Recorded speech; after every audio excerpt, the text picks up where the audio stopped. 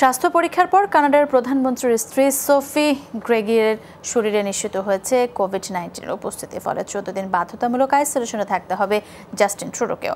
স্ত্রীর স্বাস্থ্য পরীক্ষার খবরে অবশ্য বৃহস্পতিবার নিজে থেকেই আইসোলেশনে যান ট্রুডো।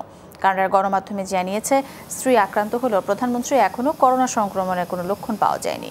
শুক্রবার জাতির উদ্দেশ্যে ভাষণও রাখবেন তিনি। সম্প্রতি লন্ডনে একটি সেমিনারে অংশ নিয়ে কানাডা ফেরেন সোফি ট্রুডো। ধারণা করা হচ্ছে সেখানে তিনি সংক্রমিত হন। এদিকে এক সহকর্মীর করোনা ধরা পড়ার পর স্বাস্থ্য পরীক্ষা করা হয়েছে ব্রাজিলের প্রেসিডেন্ট জেড বোলসোনারোর।